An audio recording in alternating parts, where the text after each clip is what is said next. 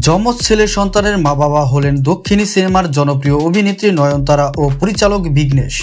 নয় অক্টোবর সামাজিক যোগাযোগ মাধ্যম টুইটারে দুটি ছবি দিয়ে এই সুখবর জানান বিঘ্নেশ শিবান। টুইটারে বিঘ্নেশ লিখেছেন, নয়ন এবং আমি, আম্মা আর আপ্পা হলাম। যমজ পুত্র সন্তান এসেছে আমাদের ঘরে। আমাদের সব প্রার্থনা আমাদের পূর্বপুরুষদের আশীর্বাদ এবং যা কিছু ভালো তা একসঙ্গে মিলিত হয়ে আমাদের জন্য আশীর্বাদ হিসেবে এসেছে এই দুই সন্তান। আপনাদের সবার আশীর্বাদ চাই। পোস্ট করা ছবিতে শিবানু ও নয়নতারাকে দুই সন্তানের পায়ে চুমু খেতে দেখা গেছে। নবজাতকের নাম যথাক্রমে উইর ও উলাগাম বলে জানিয়েছেন বিঘ্নেশ। তামিল ভাষায় উইর মানে জীবন আর উলাগাম মানে পৃথিবী। দীর্ঘদিন একসঙ্গে থাকতে নয়নতারা ও বিঘ্নেশ। গত নয় জুন ভারতের মহাবলীপুরমের সেরাটন পার্ক রিসোর্টে পরিণত পায় তাদের প্রেমের গল্প।